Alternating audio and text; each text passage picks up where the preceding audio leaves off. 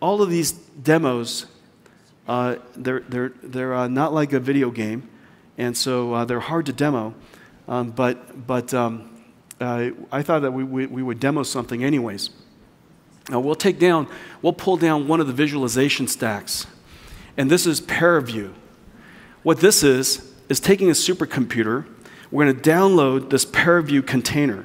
And inside the ParaView container has, of course, CUDA and, and RTX. And, and one of the things that it has is this thing, and it's OptiX, and one of the, this thing has is called index. It has the ability to take a gigantic, gigantic visualization database. For example, if you want to visualize seismic processing, if you want to visualize a supernova, if you want to visualize something so gigantic, there's no way to fit it in system memory and you've got distributed across a supercomputer.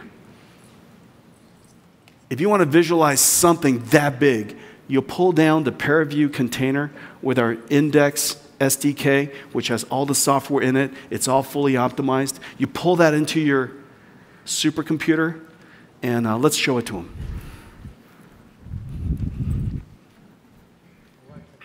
Peter, is that you? It's Mark. Okay, hey, Mark. Hi. Uh, Okay, uh, thank you very much. Um, so, so, Mark, Mark, here, here, let me let me set you up, and you go, okay? Yeah. All right. So here's what we're going to do. I know, I know that that most of you have never been to another galaxy. I just wanted to ch- double check, okay? And so, so for those of you who have never been to another galaxy, we're going to bring it to you. This galaxy turns out is a dwarf galaxy. This dwarf galaxy is like one fifth the size of the Milky Way. And it has hundreds of supernovas inside. Okay? Now, I, have never been that close to a supernova, so you guys got to be a little careful here. It, we're going to be we're going to be super close to a supernova, and what we want to see, apparently, what happens is that it just spews out enormous amounts of gas out into the universe, and new galaxies are formed. And so this is M82, right, Mark? This yes. is M82, and we're going to see this new galaxy, this, this, this, this dwarf galaxy, just spewing beauty and gases out into the universe as new galaxies are formed. Okay, go ahead. All right, thank you very much. um, to, to start our uh, GPU accelerated multi, uh, multi-node containers, we uh, first have to load uh, Singularity. As you can see here, we uh, first simply check how, what kind of GPUs we have. We have uh, Volta GPUs here. It's a DGX system, multiple DGX systems. And then we run a job on, right now, only two machines, two DGX systems. Um, this is a demo only this audience could love. This is being broadcasted all over the world. Mark, this is being streamed all over the world. Awesome. Yeah. All right, people all over the world going to watch you type. only this audience goes, Yeah, I love that. So simple. they made it so simple. Um, we are using MPI and Singularity to actually run the uh, NVIDIA Docker container that we pull from our uh, repository. Uh, it's a ParaView uh, um, server that we are going to launch on uh, two machines with the NVIDIA Index plugin here. And uh, what you're seeing now is how the Docker container is pulled, then extracted, and launched in a second. Guys, I just I have to confess, uh, we didn't rehearse, and so I have no idea how long this is going to take. And so, so Mark, we are already give me a there. hint. We are there already. Okay, so all right. The galaxy is huge. I mean, this M82 is big. We, we are starting small. Um, so we, we have uh, our ParaView client already running here. We connect to the ParaView server now, you um, told me earlier that it's like 70 terabytes. Uh, seven okay? Terabytes is, it 700 or 70? It's seven terabytes. Oh, seven terabytes. Oh, so it's tiny. This galaxy is small. It's just tiny, yes. Okay, so th- we, we're, we're down, we're, we're basically pull, we're, we're going to render, the, this is simulated, right? This is being simulated on a supercomputer. And it, it spews out, it spews out seven terabytes of data. Now, seven terabytes will not fit in a computer, in a workstation or a computer. You can't render it. And so we take the seven terabytes, we break it up into this new data structure, rendering hierarchical distributed rendering system we created called Index. Index is going to take this this, this, this, this, this, this dwarf galaxy, it's going to render it in small pieces, and then Index is going to assemble, compose it, and present it to you for your enjoyment. Am I right, Mark? Absolutely. Okay. um, what we're seeing here in a couple of seconds is um, the Galaxy, but this is only one time step that we currently run on just these two nodes. It's a live demo um, that's actually working. And um, here we are. So this is the data that you currently see rendered on two machines. Um, so, so it turns out we have an astrophysicist working at NVIDIA, all right?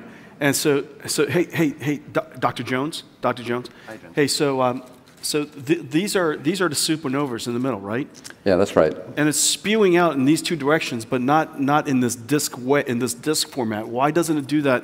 Why doesn't it come out in a spherical way? So the, the, the, the, gas being spewed out actually goes in all directions, but it gets captured by the galaxy when it spews out sideways. But when it spews uh, up and down with respect to the galaxy disk, then it just gets ejected. Oh, that makes so much sense. And the reason for that is because the galaxy is spinning in, in a particular direction. Yep, that's right. I see. I see. Okay. See, this is the type of stuff we get to talk about in NVIDIA. We, we have, um, earlier on, you guys, there's a Kate Clark, I don't know if she's in the audience, uh, a, quantum chemist. Uh, we have an astrophysicist. Uh, we, have, we have a couple of video gamers. And now we want to go large. So what you have seen here uh, is exactly what you can do also not only with uh, 10 machines, 20 machines, you can do that with 20 machine, uh, 27 machines uh, or even more. But we have prepared a 7 terabyte demo right now for you to display it uh, interactively. Whoa, whoa, it's hot out here. And so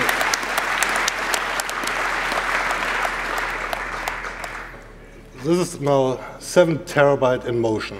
Um, and uh, the scientists that created those uh, are eager to really uh, inspect the data uh, interactively. They can change uh, color maps, they can uh, change the transfer function, they can um, um, zoom in to spots they, they want to investigate to really get insight into their simulation. It's a time-lapsed visualization here. Um, and, and, so, Mark, it's important that the audience realize this is not seven terabytes of video that's being played back. That's easy. Exactly. This is seven terabytes of visualization data that we're visualizing interactively. That's why you can go in and out.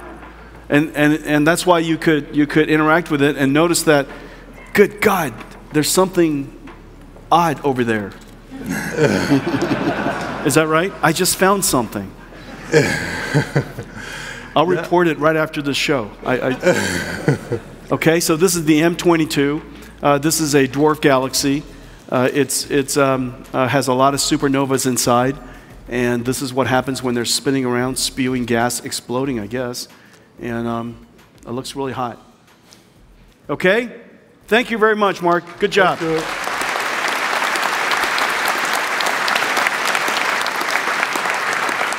Now, ladies and gentlemen, that is absolutely the best container demo you have ever seen. it is not possible to give a good container demo.